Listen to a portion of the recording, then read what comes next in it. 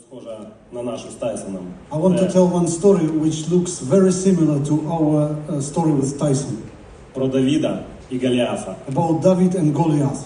Коли Господь дасть мені його в руки, то я зроблю свою роботу. When the Lord gives me Tyson in my hands, I will make my job. Impossible. The Lord will never deliver me to you, son. Ever. У Господа The Lord нічого will never немає deliver me to неможливого. you. Ever. Never. The Lord has nothing impossible. Nothing's impossible, but he'd never deliver me to you. Especially man wearing earrings. Ever. Believe that. When you sleep at night, ugly man, you gotta think of me for the next eight weeks. Think of me, because I'm gonna punch your face in.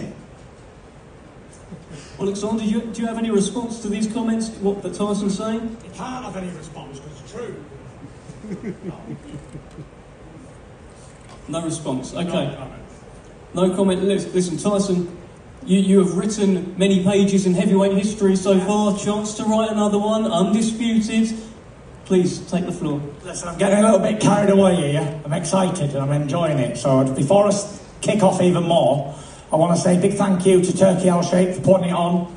It was only a few, well, last year, all these boxing fights seemed impossible to make. And uh, Turki Al-Sheikh, His Excellency, has made them all in five minutes, it seems like that. Um, so yeah, Kingdom of Saudi Arabia, get up! Get up, Turki Al-Sheikh! Um, yeah, back to this. Look, I've been in many, many heavyweight title fights before. Um, it is what it is. And now is uh, the most important one. You know, me and Alexander, both undefeated. He's a champion, I'm a champion. And it's going to be one of the fights for the ages. You know, it's been, someone told me the other day, it's been 24 years since we had our last undisputed world heavyweight champion. Now, we know that the both Klitschko's was champions for around about 10 years. So there's been another 14 years where all the heavyweights couldn't do it. So we've been chosen, and I believe we're both destined to be here, um, to be in this uh, fight in Saudi Arabia, the Ring of Fire.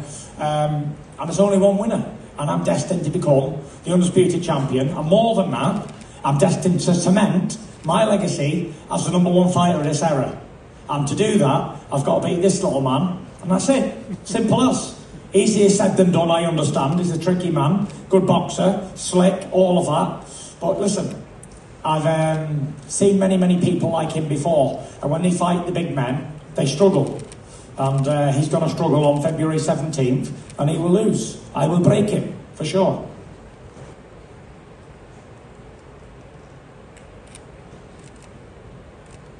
Maybe it's true.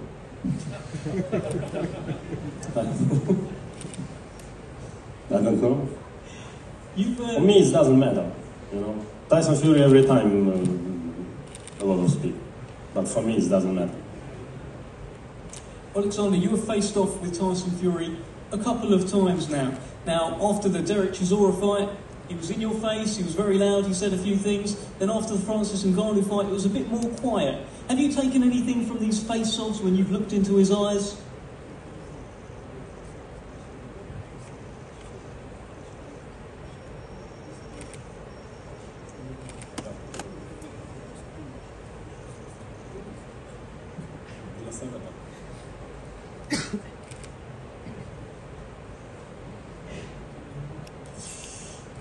Е, В першому, в перший раз, коли ми бачили фейс-офф, е, Тайсон Ф'ю- Ф'юрі був дуже енергічний, дуже веселий та дуже мотивований. Uh, the first time I made a face-off with Tyson after Tijora fight, he was very motivated, with high energy, with high spirits. Останній раз він був втомлений. The last time, he was exhausted. Well, Tyson, let, let me bring you in here. Is this the biggest threat you've faced so far? Nowhere near. Easy fight. Nowhere near the biggest threat. He's a, he's a, he's a boxer. We know he's a slick boxer, southpaw. He ain't the biggest puncher in the world. Um, and he's not the biggest, strongest man in the world. So, listen, I can outbox him. I can get in the front foot and slaughter him. There's plenty of ways that I can uh, skin this cat. But we'll find out on the night. And listen, obviously it's a no contest when we're up here talking shite because I'm speaking to myself and they're conferring amongst each other and yada yada yada. But we're not here to talk. It's not a talking contest because It's just not. It's a boxing match. And on February 17th, all the talking's out the window. Nothing matters what you've said or what I've said. It comes down to who's going to win the fight. And that's what pay-per-view's for. And that's what these boxing fights are for, is it not? For people to tune in and watch who's going to fucking win the fight. And that's it. There's nothing more to be said. He thinks he's going to win, maybe. I think I know I'm going to win. And, and that's it. There's nothing more anyone can say. That's it. There's not much more to be said, is there? There's not. I've got one more for you though. After his fight with Daniel Dubois, Yeah. you said that he quit in that fight. I did think so, yes. Talk to us about I think he got hit in the body, and a good body shot, and he didn't want to get up for five minutes. So, yeah, there you have it.